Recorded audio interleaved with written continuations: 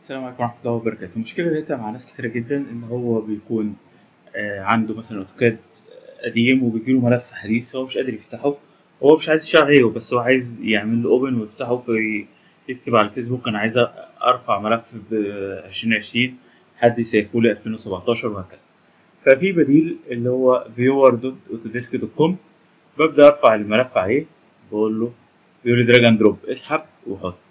أو ممكن تقول له select file أو upload folder ممكن تفتح ملف كامل. طيب أنا هبدأ آه، أفلتر DWG هو أنا مديني الملفات كلها مش مديني إن أنا أختار DWG بس.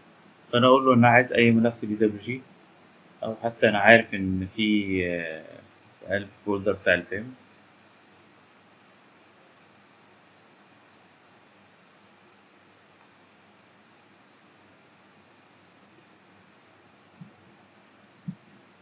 ممكن نختار بقى أي ملف.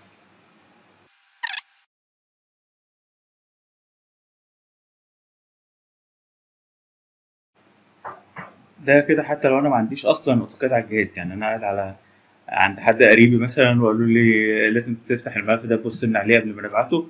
فبدل ما أسطب AutoCAD ولا حاجة أدخل على ال browser وأروح شايف الملف و...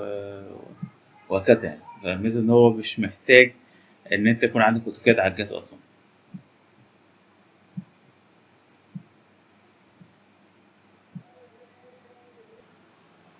فيفتح لي اللوحة بالشكل دوت أقدر أشوفها في 2 D في 3 D أي sheet من الشيتات.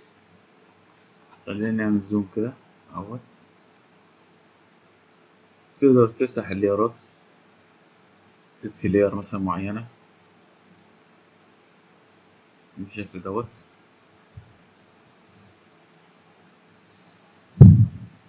خلينا نقول له grid لاحظ إن ال grid اختفت.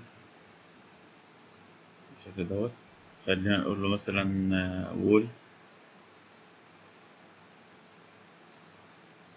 windows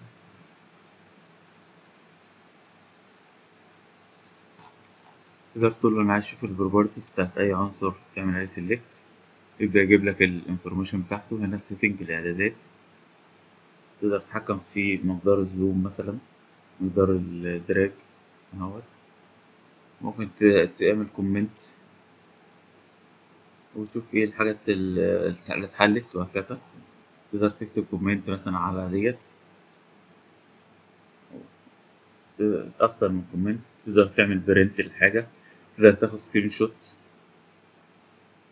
تعمل لها download تقدر تعمل share للملف دوت. يعني بحيث الناس تشوفها. ففي شوية إمكانيات كويسة